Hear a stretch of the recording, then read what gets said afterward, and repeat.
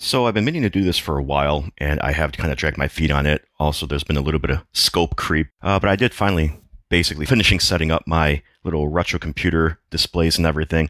Not all of them, but you'll kind of understand why once I show you what's going on.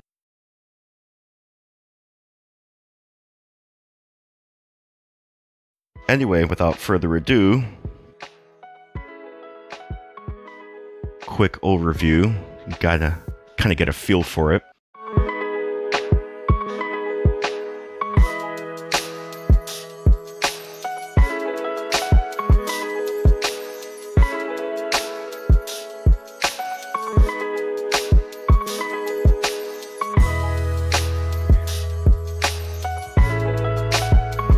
That's basically it. I, it took me, what, eight, nine months to basically do this, but like I said, there was some scope creep involved here. So We'll take a quick look at the gaming PC one more time so you can see the final setup, and then we'll take a closer look at the stuff you actually came here to see. So just off to this side here is my work setup, so I can't really show that off or anything, but that's fine because we don't care about that. So this is the final setup here. Sorry, there's a little bit of flicker here. There's a slight mismatch in the uh, shutter speed and all that. So, but that's my basic setup. This is the piece that I built about a year ago doing editing on there, some light PC gaming, things like that. A little bit of shameless promotion so there's something on screen. That's new since you guys saw this setup, uh, as well as that little keypad there. I picked that up uh, on Newegg via the TikTok shop. They had Black Friday special. Normally, I think 160. I got it for 80, 1080p screen, but it does 165 hertz, so that's pretty cool. I also then picked up this little keypad here, it's just a generic one you get in AliExpress. I haven't set it up yet because the software is kind of weird. We'll just leave it at that. So, but yeah, uh, you've already seen this set up a few times, so we won't go too much into it. There is a nice little super tall monitor stand, so I could put that on top.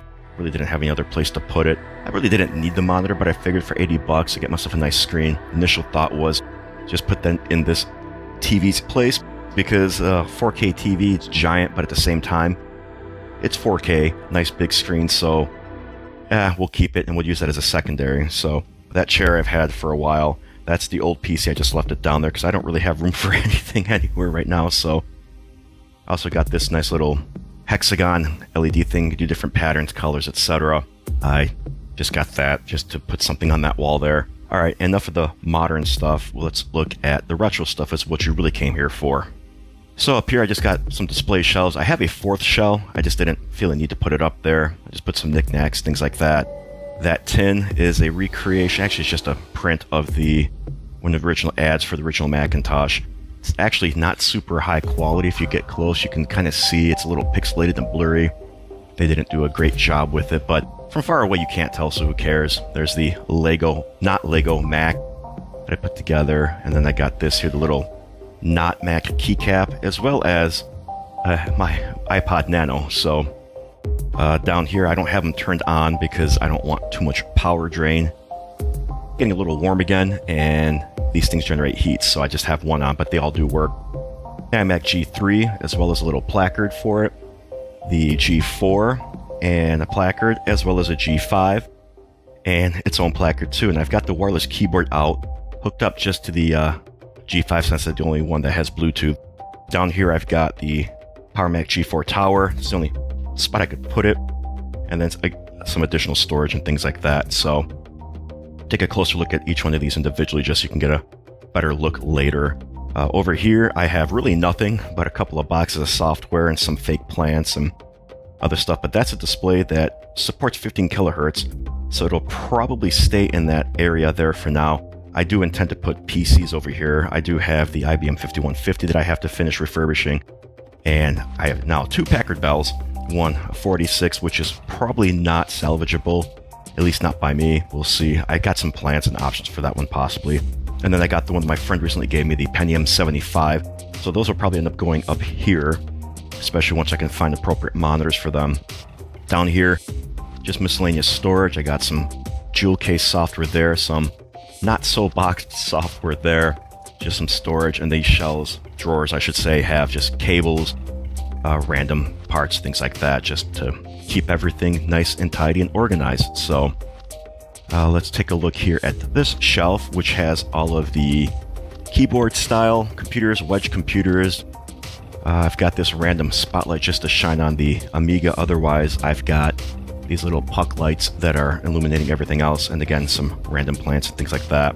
So we've got the Amiga 500 there. Again, it's got its own placard. There's the C64. There's the uh, Atari 520 ST.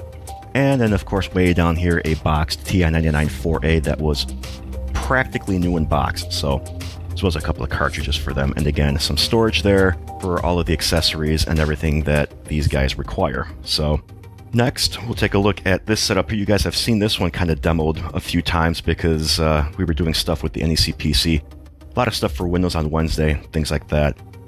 This was originally here but I got its own separate desk just because I'm going to be using it a lot more like that. I can always swap that out with another computer for different demonstrations and things like that. But we've already seen this plenty of times. We won't go too much into it, but I will do a little closer dive like I will with the Macs and everything. And then here I've got, this is last but not least, a shelf with some extra drawers for storage. This has the PowerBook 3400C, the MacBook 1, 1, some miscellaneous boxes to kind of act as support for these magazines that I found because they're pretty heavy. This is not their permanent home, this is just there for now. But I've got, you know, an Unreal Tournament guidebook here. Uh, I forgot where I got it from. I've got uh, games for Windows, as well as uh, TechNet subscription, and then some miscellaneous copies of PC Magazine. So, yeah, it's not super complicated or complex or anything, but it did take me a while because I kept getting ideas and ideas. And at some point, I was like, just stop, finish this thing for now, and then you can always go on later. So, uh, my thoughts behind this was just to put stuff out, have it on display, because what's the fun if it's just going to be sitting, you know, on a shelf in a room somewhere like a closet or like in the basement or even just out of the way? Uh, what's the point, you know? So I decided to just get everything set up. I know a couple people asked on, I think it was either Twitter or Threads, like, what's the point of all this?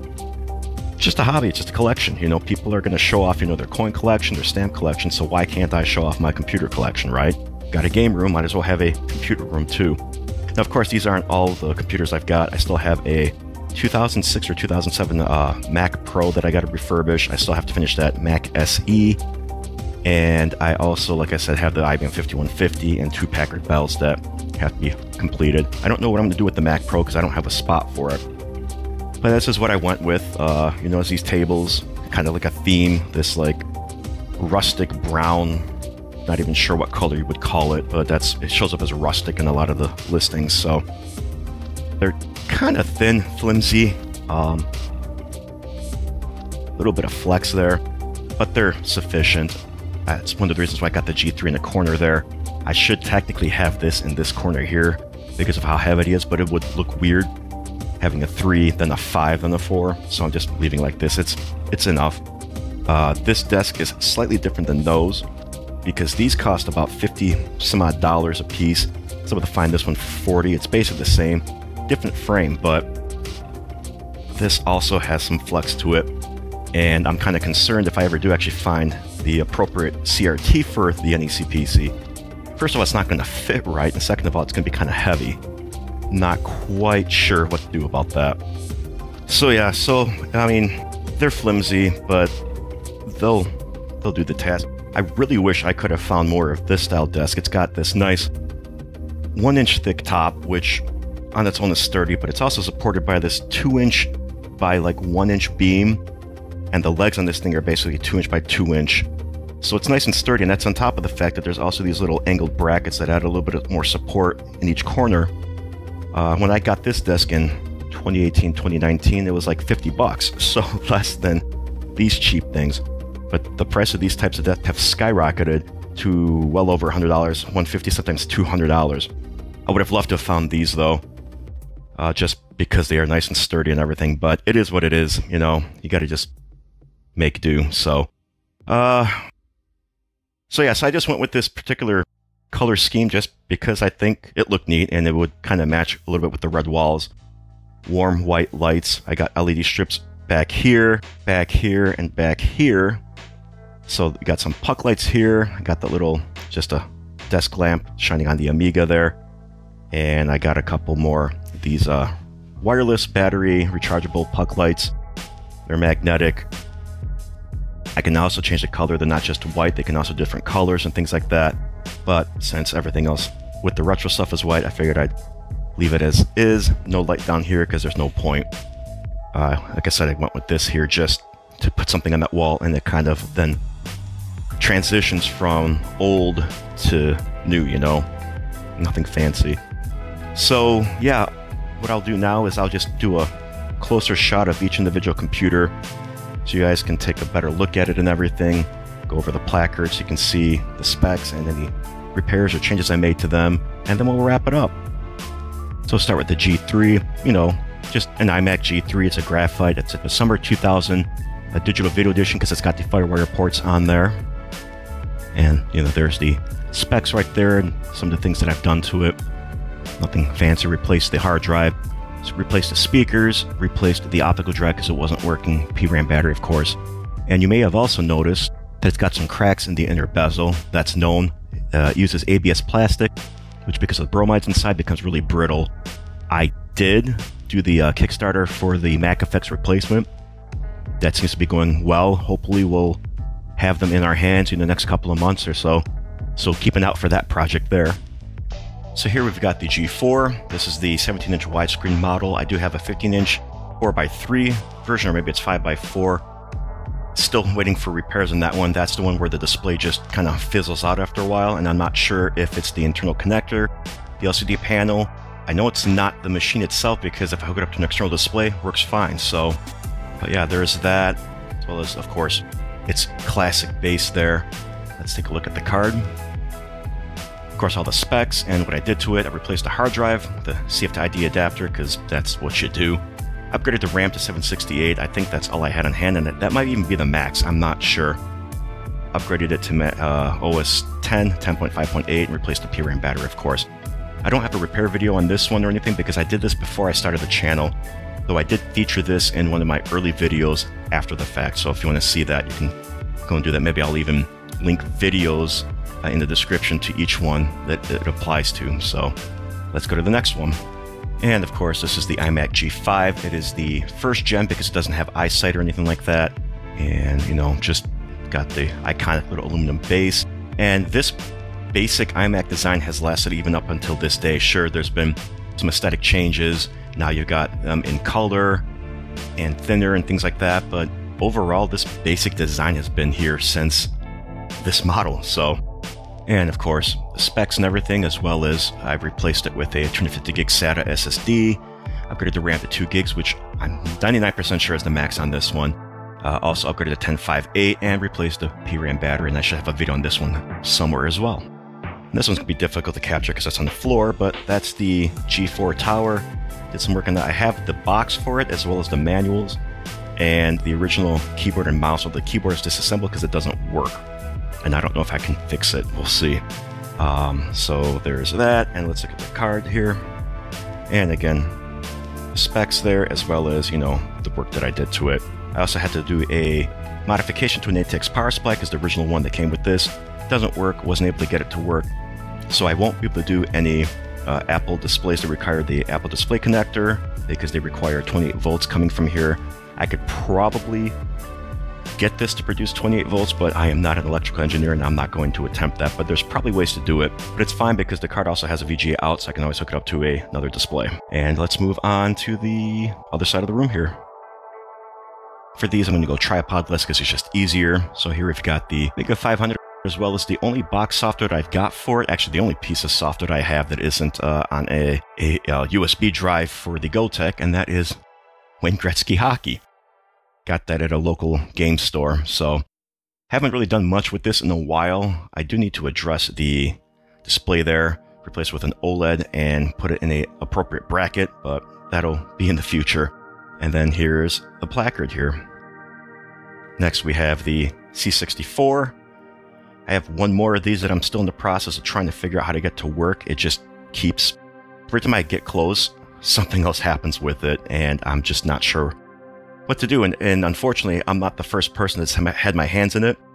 The last owner also tried to repair, and obviously wasn't able to do anything with it, so I picked it up, hoping that I could get it to work, and I haven't yet, but I'm not giving up. But this one does work. Uh, also I haven't used it too much except for swapping parts out with the one that's broken so I can try to see what's going on. Uh, I do have a user's guide for it that I picked up at a local retro game, retro computer software store, so that was kind of neat to find. And then, of course, placard here, as well as the repairs and stuff that I did with it. So the uh, Gal 20 V8 mod, I just picked one up online. I don't have a way to program them, but the uh, PLA itself was dead, so I went ahead and got that one.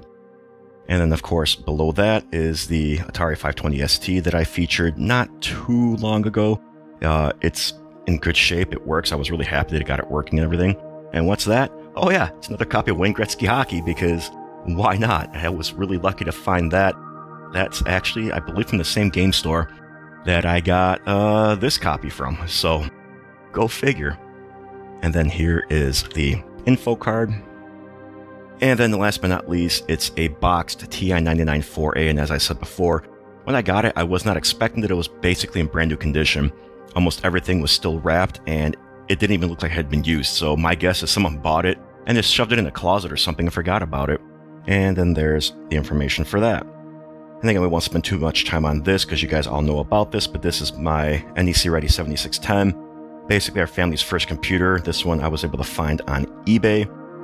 And I was really lucky because it's not like NEC was a huge popular brand. Good company and everything. But the odds of finding a 7610 were very low and I found it so I grabbed it. Paid more than I needed to, but whatever. There are other Readies that were in a similar chassis and everything that I could have done, you know, if I really wanted to feel that nostalgia. And of course, the speakers that I got, uh, new in box, new old stock. Again, still looking for a CRT. One of these days I will find it. And then, of course, the place card here everything that I've done to it so far. Although uh, the ATI Rage, it's out of commission right now. I'm not sure what's wrong with it. Uh, with Windows 98 specifically, if I try to install drivers, it just locks up the system. Uh, it locked the system up while it was installed, so I figured let me remove the drivers, reinstall them. It will not. I'm not sure what's wrong with it. I gotta try and diagnose it. So right now it's got the uh, Voodoo Banshee in there for the time being. Is it the Banshee? Voodoo Rush. Voodoo Rush, yeah. Uh, so I've got that in there for now just to be able to use it still. So. And then lastly, we've got my two laptops that I've got out right now. The MacBook One, One 2006. It's the Core Duo, first Intel MacBook. And then, of course, what we've done to it. And I need to address the optical drive again because it is not properly reading disks. I think I've got a spare that I can put in there, but we'll see. Otherwise, there's that.